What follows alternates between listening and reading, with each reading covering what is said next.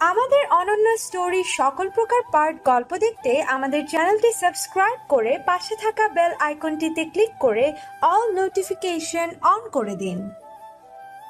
বর্ষা তোমার কি শরীর খারাপ লাগছে? অর্ষাক ছিল। বাচ্চাদের মতো ঠোঁট উল্টিয়ে বলে না অথচ তার গায়ে তখন প্রচণ্ড জ্বর। কীরকম পাখির ছোট্ট ছানার মতো আহনাপের গা ঘেঁষে রয়েছে। অন্য সময় হলে অর্ষা লজ্জাতেই সামনে আসতো না। আর সেখানে তো আহনাপ দীর্ঘশ্বাস নেয়। যে দুটো পুলিশকে অর্ষার জিনিসপত্র আনার জন্য পাঠানো হয়েছিল, তারা কিছুক্ষণ বাদেই সব নিয়ে ফিরে আসে। আহনাব সব কিছু চেক করে পুলিশকে ধন্যবাদ জানায়। অর্ষা তখনও আহনাবকে ছাড়েনি। যেন ছাড়লেই সে আবার হারিয়ে যাবে। তাছাড়া অচেনা এই ভিন দেশে এখন অর্ষার একমাত্র ভরসার কেন্দ্রবিন্দু তো আহনাপি। সেটাই দুজন মানুষ স্বীকার করুক বা না করুক, বাস্তবতা তো এটাই। পুরোটা রাস্তায় অর্ষা আহনাপের হাত ছাড়েনি। বাড়ি ফিরে অর্ষাকে সোফায় বসালো সে। অর্ষার জন্য পানি আনতে গিয়ে দেখল দেয়ালের আড়াল থেকে ক্যাথিয়ন উকি দিয়ে তাকিয়ে আছে। দৃষ্টি তার অর্ষার দিকে আটকে রয়েছে। মনে মনে হয়তো ভাবছে এই নতুন মানুষটার আমদানি হলো কোত্থেকে আবার? আহনা পানি এনে দিলে অর্ষা বিনা বাক্যে পানিটুকু পান করে। নিস্তেজ স্বরে বলে ভালো লাগছে না ঘুমাবো। অর্ষাকে ধরে উঠিয়ে আহনাব বলল চলো। দুটো বেডরুম আহনাবের ফ্ল্যাটে। সে যেই রুমে থাকে তার পাশের রুমে অর্ষাকে নিয়ে যাবে ভাবলো। পরক্ষণে ভাবলো রুমটা গোছানো হয়নি। আজ বরং অর্ষা তার রুমেই থাকুক। পরে না হয় ওই রুমে শিফট করবে। সে অর্ষাকে নিচের ঘরে নিয়ে শুইয়ে দিল। মাথায় হাত দিয়ে ব্যথায় কোকাচ্ছে অর্ষা। সে জড়ানো কণ্ঠে অনুরোধ করে বলে প্লিজ আপনি কোথাও যাবেন না এখানেই থাকুন। যাচ্ছি না কোথাও। তুমি একটু শুয়ে থাকো। আহনা ফার্স্ট এইড বক্স থেকে থার্মোমিটার নিয়ে জ্বর মেপে দেখল একশো তিন ডিগ্রি জ্বর। অস্ফুট স্বরে পড়ল সর্বনাশ অনেক জ্বর। এরপর সে জ্বরের ট্যাবলেট নিয়ে অনেকটা জোরপূর্বক অর্ষাকে খাইয়ে দিল। পাশে বসে কিছুক্ষণ জলপট্টি দিয়ে জ্বর নামালো। সকাল হলে ডাক্তারের কাছে নিতে হবে। অর্ষা ঘুমানোর পর ফোন হাতে নিল। বাবা মা অনেকগুলো কল আর মেসেজ করেছে। আহনাপের এই মুহূর্তে কথা বলতে ইচ্ছে করছে না। তাই সে ঘুমন্ত অর্ষার ছবি তুলে মাকে হোয়াটসঅ্যাপে পাঠিয়ে সাথে লিখল চিন্তা করো না বর্ষা এখন আমার কাছেই আছে। ঘুমাচ্ছে কাল সকালে ফোন করব। এরপর ফোন চার্জে দিয়ে মাঝখানে কোলবালিশ রেখে সেও অর্ষার পাশে শুয়ে পড়ল। লাইট নেভায়নি আজ। যখন তখন অর্ষার ঘুম ভেঙে যাওয়ার সম্ভাবনা আছে আজ। অন্ধকার দিকে ফের যদি ভয় পায়, এই আশঙ্কায় লাইট জ্বালিয়েই রাখল যদিও লাইটের আলোয় তার ঘুম আসে না। কিন্তু কিছু করারও তো নেই। পাশ ফিরে শুতে গিয়ে দেখল, ক্যাথিয়নকে এই রুমে এসেছে। চেয়ারের উপর গুটিসুটি হয়ে ঘুমুচ্ছে। আহনা মৃদু হাসে, ক্যাথিয়নের দিকে তাকিয়ে, মনে মনে বলে, ভাগ্যিস। তুই গ্লাসটা ভেঙেছিলি? সকাল সাতটা চব্বিশ। সারা রাত দুশ্চিন্তায় ঠিকমতো ঘুমাতে পারিনি আহিল। আমেনা বেগম অবশ্য এসে ভয়ে ভয়ে অর্ষার পৌঁছানোর খবর জানিয়ে গেছেন। তবে আহিল তার কথায় কোনো রেসপন্স করেনি। সকাল হতেই একে একে সব বন্ধুর নাম্বারে ফোন করে এমার্জেন্সি দেখা করার কথা বলে। ওর হঠাৎ দেখা করার কথায় সবার পিলে চমকে ওঠে। নিশ্চয়ই এতক্ষণে সব জেনে গেছে আহিল। আর তাই সবাইকে দেখা করতে বলছে। সকাল নয়টায় সবার রেস্টুরেন্টে থাকার কথা। আহিল রেডি হয়ে সাড়ে আটটার দিকে বের হয়। ডাইনিং রুম থেকে রেনু জিজ্ঞেস করে ভাইজান নাস্তা করবেন না? না। বলেই আহিল চলেই যাচ্ছিল। আবার কি হবে ভেবে যেন ফিরে আসে। ডাইনিং রুমে কেউই নেই। সে রেনুকে জিজ্ঞেস করে বাবা মা কোথায়? ঘুমাইতাছে। রাতে ঘুম হয় নাই তো? তাই। রেনু আপা তুমি কি জানতে অসার সুইজারল্যান্ড যাওয়ার কথা? রেনুর বুকটা কেঁপে ওঠে এবার। আহিল শান্তভাবে জিজ্ঞেস করলেও ওর চোখে মুখে থাকা রাগের আভাস স্পষ্ট টের পাওয়া যাচ্ছে। কি হলো জানতে? রেনুকে নীরব দেখে ফের প্রশ্নটি করে আহিল। রেনু ভয়ে ভয়ে বলে আহিল কিছু বলল না। শুধু তেচড়াভাবে হেসে সেখান থেকে প্রস্থান করল। গ্যাঞ্জাম পার্টির সকলেই রেস্টুরেন্টে ছিল। নিজেরা নিজেরা আলোচনা করছিল আর ভাবছিল কি করে আহিলকে হ্যান্ডেল করবে। আহিলকে রেস্টুরেন্টে প্রবেশ করতে দেখে সকলেই নড়ে চড়ে বসে। আহিলও বেশ স্বাভাবিক ভঙ্গিতেই এগিয়ে এসে একটা চেয়ার টেনে বসে পড়ল। সবার দিকে তাকিয়ে দেখে সকলে ওর দিকেই ত্রস্ত দৃষ্টিতে তাকিয়ে রয়েছে। আহিল ভ্রুকুচকে বলে কি? ওরা অপ্রস্তুত হয়ে পড়ে। আশিক অনেকটা সাহস সঞ্চয় করেই জিজ্ঞেস করল হঠাৎ জরুরি তলব আহিল কিছুটা সময় চুপ করে রইল। এরপর লম্বা দম নিয়ে বলল যাক তোরা যখন আসলি প্রসঙ্গে চলে এলি তখন আমিও আমার অনিতা না করি। একটু থেমে ফের বলল অসাজে সুইজারল্যান্ড গেছে তোরা জানিস? সকলে একবার মুখ চাওয়াচাবি করে সমস্বরে বলল জানি। কবে থেকে জানতি? সবাই এবার নিরুত্তর। আহিল বলল চুপ করে থাকবি না কবে থেকে জানতি তোরা? যাওয়ার পর জেনেছিস নাকি আগে থেকেই জানতি? এবারও সবাই চুপ করেই থাকে। আহিল বেশ শান্তভাবে বলল উত্তর দিবি না তোরা? লামিয়া ভাঙা ভাঙা স্বরে বলল বেশ কিছুদিন ধরেই জানতাম। সবাই। হুম। আহিলের চোখে মুখে এবার স্পষ্ট ক্রোধ ফুটে ওঠে। সেই সাথে পুরো মুখখানা অভিমানে ছেয়ে যায়। বিতৃষ্ণায় মুখ তেতো হয়ে ওঠে। সে কিছুক্ষণ নীরব থেকে নিজেকে ধাতস্থ করে। অভিমানী কণ্ঠে বলে তোরা সবাই সব জানতি শুধু আমি বাদে। এমনকি অসাও আমায় কিছু জানানোর প্রয়োজন মনে করল না। ওয়েল দরকার নেই। তোদের কাউকে আমার আর দরকার নেই। ভালো থাক তোরা। জুই বলে দোস্ত তুই রাগ করিস না। আমাদের কথাটা শোন। না না আমি রাগ করছি না। রাগ করবে বা কাদের উপর? অসার উপর? তোদের উপর? আমার পরিবারের উপর? লাভ নেই তো। তোরা আমায় আপন ভাবিস না সেটা আমার বোঝা হয়ে গেছে। দেখ দোস্ত তুই আহনাব ভাইয়ার উপর রেগে আছিস। এভাবে বিয়েটাও মানতে পারিসনি। অন্যদিকে আহনাব ভাইয়া এবং অর্ষা দুজনের কেউই কাউকে বোঝার সুযোগটুকু পাচ্ছিল না। এভাবে যদি ওরা দূরে দূরে থাকতো তাহলে সম্পর্ক গড়ার আগেই সম্পর্কটা ভেঙে যেত। তাই অর্ষার সুইজারল্যান্ডে যাওয়াটা প্রয়োজন ছিল। তোকে আগেই জানানো হয়নি। কারণ তাহলে তুই রাজি হতি না। আর তুই না বললে অর্ষাও কখনো যেত না। তাই পুরো বিষয়টি তোর থেকে গোপন রাখা হয়েছিল। ভুল না বুঝে ঠান্ডা মাথায় ভেবে একটু বোঝার চেষ্টা কর। আশিক বলল বললাম তো ভুল বুঝিনি।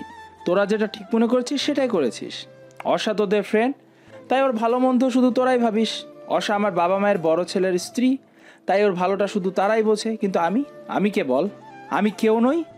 ওদেরও না তোদেরও না। যাই হোক উঠছি আমি। ভালো থাকিস তোরা। প্লিজ রাগ করিস না। এবারের মতো আমাদের ক্ষমা কর। সরি দোস্ত। আহিল শুনল না কিছু। একরাশ চাপা অভিমান সঙ্গে নিয়ে রেস্টুরেন্ট থেকে বেরিয়ে গেল। জুরিক শহরের এক পরিচিত ডাক্তার রয়েছে আহনাপের। সকাল হতেই আহনাপ তাকে বাড়িতে নিয়ে আসে। রাতে অবশ্য অর্ষার জ্বর অনেকটাই কমে এসেছিল। সে অর্ষাকে দেখে প্রেসক্রিপশন লিখে দিল। ডাক্তার চলে যাওয়ার পর অর্ষার ঘুম ভাঙে। সে যেদিকেই তাকাচ্ছে, সেদিকেই শুধু সাদা রঙের ছড়াছড়ি। বেড কভার, বালিশের কভার, জানালার পর্দা সব কিছু সাদা রঙের। সে মাথাটা দুহাতে ধরে উঠে বসে। হঠাৎ মাথা আবার চক্কর দিয়ে ওঠায়, বিছানায় শুয়ে পড়ে। ডান হাতটা বিছানার ওপর রাখতেই নরম, উষ্ণ, তুলতুলে কিছু অনুভব করে সে। চোখ মেলে তাকিয়ে দেখে সব কিছু চারিদিকে ঘুরছে, ঝাপসা লাগছে। সে আবার চোখ বন্ধ করে ফেলে, কিছুক্ষণ সময় নিয়ে নিজেকে ধাতস্থ করে। ততক্ষণে ওই উষ্ণ জিনিসটা আরও বেশি করে অনুভব করছে সে। কি সেটা বোঝার জন্য পাশে তাকাতেই দেখতে পায়, সাদা ধবধবে একটা বিড়াল তার হাতের উপর শুয়ে রয়েছে। খানিকক্ষণ স্তব্ধ হয়ে থাকে সে। এরপর চার পরনায় আকাশ পাতাল কাঁপিয়ে জোরে চিৎকার দেয়। হাতটা তড়িৎ বেগে সরিয়ে দৌড়ে রুম থেকে বের হয়। অর্ষার চিৎকার শুনে ভয় পেয়ে যায় আহনা। এদিকে ক্যাথিওনেরও ঘুম ভেঙে গেছে। সেও অর্ষার পিছু দৌড় দেয়। এটা দেখে তো অর্ষা আরও জোরে চিৎকার করতে শুরু করে। ডাক্তারকে এগিয়ে দিতে বের হয়েছিল আহনা গার্ডেন থেকে দ্রুত পায়ে সে বাড়ির দিকে আসে। মেইন দরজা চাপানো ছিল। অর্ষাও বের হতে যায় আর আহনাপও ভেতরে ঢুকতে যায়। যার ফলে দারুণ এক ধাক্কা খায় দুজনে। টাল সামলাতে না পেরে অর্ষার পড়ে যাওয়ার উপক্রম। সেই সময়ে আহনাব তার শক্তপোক্ত হাতে অর্ষাকে ধরে ফেলে। সাপোর্ট পেয়ে অর্ষাও এবার শক্ত করে আহনাবকে জড়িয়ে ধরে। আহনাব জানতে চায় কি হয়েছে? তুমি চিৎকার করছ কেন? তখন দেখতে পাই সামনে ক্যাথিয়ন দাঁড়িয়ে ওদের দিকেই তাকিয়ে রয়েছে। আহনাব বলে বাই অ্যানি চান্স তুমি ক্যাথিকে দেখে চিৎকার করনি তো? অর্ষা এবার মুখ তুলে তাকায় চোখ দুটো পিটপিট করে বলে ক্যাথি। আহনাব ক্যাথিয়নের দিকে ইশারা করে বলে আমার বিড়াল বিডিতে বলেছিলাম ওর কথা। অর্ষা ঘাড় ঘুরিয়ে ক্যাথির দিকে তাকালো। ক্যাথিকে এমন গম্ভীর দেখাচ্ছে কেন? বিড়ালও রাগটাগ করে নাকি? সে আহনাবকে কিছু বলার জন্য আহনাবের মুখের দিকে তাকায়। পরক্ষণে খেয়াল করে আহনাবের মুখটা এত কাছে কেন? এবং আরও ভালো করে লক্ষ্য করে দেখে, সে তো আষ্টে পৃষ্ঠে আহনাবকে জড়িয়ে ধরে রেখেছে। সে এটাও খেয়াল করে, সে অক্টোপাসের মতো পেঁচিয়ে ধরলে কি হবে? আহনাব একদম হাত দুটো সরিয়ে সোজা হয়ে দাঁড়িয়ে রয়েছে। অর্থাৎ সে অর্ষাকে জড়িয়ে ধরেনি। মনে মনে প্রবোধ গুনল অর্ষা। নিজেকে ধিক্কার জানালো, কি লজ্জা কি লজ্জা! তোমার ভয় আর লজ্জা পাওয়া শেষ হলে আমায় ছাড়ো। বলল আহনাব। অর্ষা দ্রুত ছেড়ে দেয় আহনাবকে। ক্যাথিয়নকে কোলে নিয়ে সামনে আসতেই অর্ষা আবার চেঁচিয়ে ওঠে। চিৎকার করে বলে ওকে নিয়ে সামনে আসবেন না। আশ্চর্য ও কি তোমাকে খেয়ে ফেলবে নাকি? আমার ভয় লাগে। আহনাব ক্যাথিয়নকে নামিয়ে দিয়ে অর্ষাকে বলল ফ্রেশ হয়ে খেতে আসো। অর্ষা যেই রুমে ছিল সেই রুমে গিয়েই ফ্রেশ হয়ে আসে। আহনাব হালকা পাতলা কিছু নাস্তা এনে টেবিলে রেখেছে। অর্ষাকে দেখতে পেয়ে আহনাব বলল খেয়ে নাও তাড়াতাড়ি। এত তাড়াহুড়ো কেন? বাইরে যাব ওষুধ আনতে। আমি তখন ঠিক আছি। আহনাব কিছু না বলে খেতে লাগল। অগত্যা অর্ষাকেও চুপচাপ খাওয়া শুরু করতে হয়। খাওয়ার পর্ব চুকিয়ে আহনাব বলল তুমি রেস্ট নাও। আমি বাহির থেকে আসছি। অর্ষা ব্যস্ত হয়ে বলল না আমি এই বিড়ালের সাথে বাড়িতে থাকব না। ওর নাম ক্যাথিয়ন। ওই তো। তো কি করবে? সাথে যাবে? আপনার সমস্যা না হলে যাব। মাথা নত করে নিচু স্বরে বলল অর্ষা। আহনাব শ্লেষের সুরে বলল যে নিজের সমস্যার কথা ভাবে না সে নাকি এখন আমার সমস্যার কথা ভাবতে শুরু করেছে। অর্ষা আহত দৃষ্টিতে তাকায়। আহনাব বলল রেডি হয়ে নাও। অর্ষাকে নিয়ে ডাক্তারের কাছে যাওয়ার জন্য বের হয় দুজন। রাতে এত সব ঘটনা ঘটে গেছিল যে সুইজারল্যান্ডে আসার সব আনন্দই মাটি হয়ে গেছিল।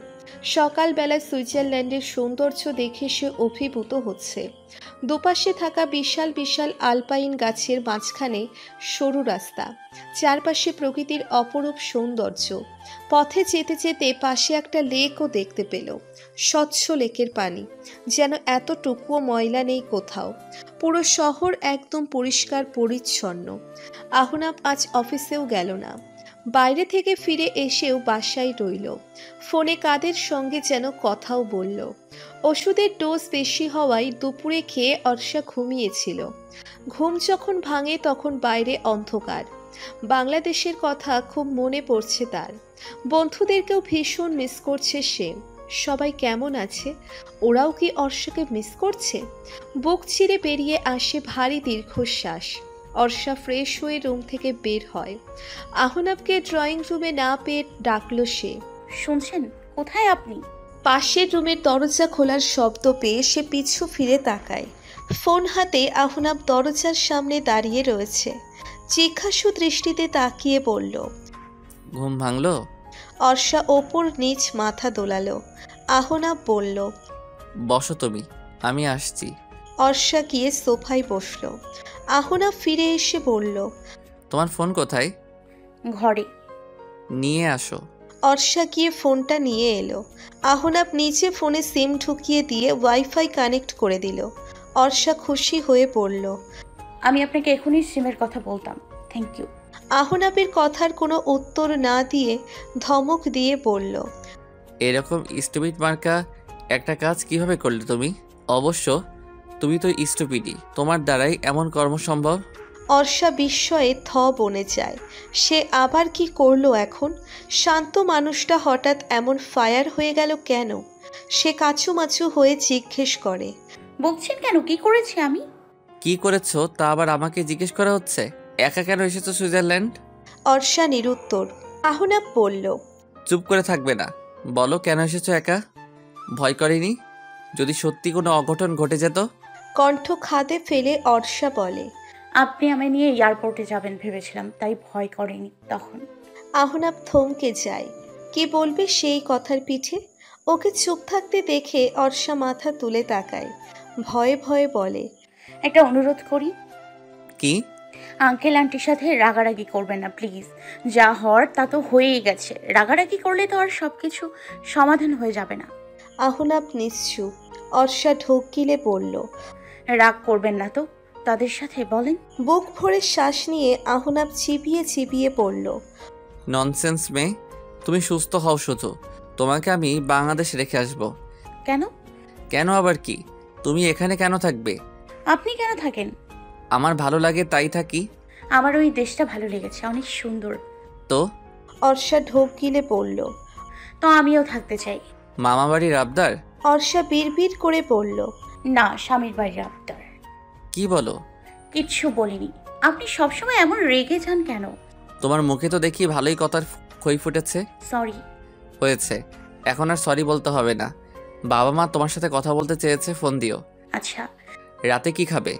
আপনার ইচ্ছে। আহনাব একটু চুপ থাকল এরপর বলল এখন কি খাবে? চা নাকি কফি? ইচ্ছে। ইচ্ছে ইচ্ছে ইচ্ছে। সব যদি আমার ইচ্ছে, তাহলে এখানে আসার আগে আমার ইচ্ছে জানতে চাওনি কেন? বিরক্ত হয়ে বলল আহনাব। অর্ষা ভয়ে ঠোক গেলে। সোফা থেকে উঠে এক পা দুপা করে পেছাতে থাকে। উদ্দেশ্য দৌড়ে রুমে চলে যাবে। তার আগেই সে পিছে না দেখে ক্যাথির পায়ে পাড়া দেয়। সঙ্গে সঙ্গে তাঁত মুখ খিচে ক্যাথি ম্যাও ম্যাও করে ওঠে। অর্ষাকে আর পায় কে সে ভয়ে দৌড়ে গিয়ে আহনাপের পিছনে লুকায়। আহনাপের পরনের টি শার্ট খামছে ধরে বলে ও সব সময় আমার সামনেই কেন পড়ে? একটু কিছু হলেই তুমি কেন আমায় জড়িয়ে ধরো? অর্ষা বলল কি আর তার কথার পিঠে আহনাব এটা বলল কি তাই সে লক্ষ্য করে দেখল আহনাপের কথা সত্য। সে সত্যিই পেছন থেকে জড়িয়ে ধরেছে। তৎক্ষণাৎ ছেড়ে দিয়ে স্বাভাবিক ভঙ্গিতে কথা বলার চেষ্টা করে বলল কই না তো? এরপর সেখান থেকে সরতে গিয়ে সোফার সাথে পা লেগে সোফাতেই পড়ে যায়।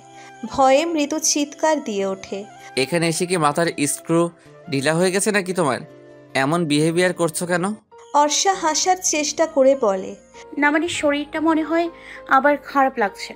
একটু নড়তে গিয়ে আবার হলো বিপরীত ঘটনা। এবার তো সোফা থেকে সোজা নিচেই পড়ে গেল। ওর এক একবার এক এক রকম কাণ্ডে আহনাব অবাক না হয়ে আর পারল না। সে অর্ষার দিকে একটা হাত বাড়িয়ে দিয়ে বলল ওঠো। অর্ষার জ্বরের রেশ কাটে পরের দিন সকালে। এখন সে পুরোপুরি নিজেকে সুস্থ অনুভব করছে। বিপত্তি বাধে পূর্বে করা তার আচরণের জন্য। না জানি কত কী সে বলেছে করেছে। বুকু ভরে শ্বাস নেয় সে। বাংলাদেশে এখনও কারোর সাথে যোগাযোগ করা হয়নি। গতকাল রাতে লজ্জায় দৌড়ে সেই যে রুমে চলে এসেছে, আর বের হয়নি। আহনাব অবশ্য দরজার ওপাশ থেকে বলেছিল, খাবার টেবিলে আছে, খেয়ে মেডিসিন নিও। আলসেমিতে অর্ষার ওঠা হয়নি, আর খাওয়াও হয়নি। সে চট জলদি ফ্রেশ হয়ে নেয়। সকাল সকাল গোসল করায় শরীর ও মন দুটোই আরও বেশি ফ্রেশ লাগছে এখন। জানালার পর্দা সরিয়ে জানালাটা মেলে দেয়। এক ফালি রোদ্দুরের সঙ্গে তীর করে ঘরে প্রবেশ করে মৃদু মন্দ বাতাস। চুল থেকে তোয়ালে খুলে ভালো করে মুছে নেয়। এরপর তোয়ালে কোলে নিয়েই বিছানায় বসে। হোয়াটসঅ্যাপে গিয়ে দেখে বন্ধুদের অনেকগুলো মেসেজ এসেছে। আমিনা বেগমও মেসেজ করেছিলেন, শুধু আহিলের কোনো মেসেজ নেই। সে সর্বপ্রথম কলটি ভয়ে ভয়ে আহিলকেই করে। ফোন রিসিভ করার সম্ভাবনা শূন্যের কোঠায় জেনেও সে কল করে। নিশ্চয়ই অনেক রেগে আছে আহিল। হয়তো আর কথাও বলবে না। তার চিন্তা ভাবনাকে মিথ্যে প্রমাণিত করে আহিল ফোন রিসিভ করল। অর্ষা কিছু বলার পূর্বে আহিলি বলল কি অবস্থা? কেমন আছিস? আহিলের স্বাভাবিক ব্যবহারে ঘাবড়ে যায় অর্ষা। রাগ ঝাড়লে বকলেই হয়তো একটু স্বস্তি লাগতো। শুনছিস? বলল আহিল।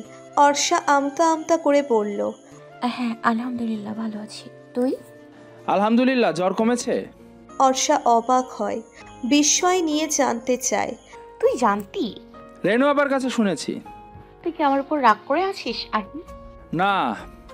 তুই এভাবে কেন কথা বলছিস? আমার ভয় হচ্ছে। তুই আমায় বকা দে রাগ দেখা।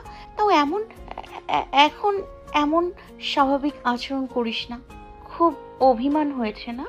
আহিল একটু হাসলো বোধ হয় বলল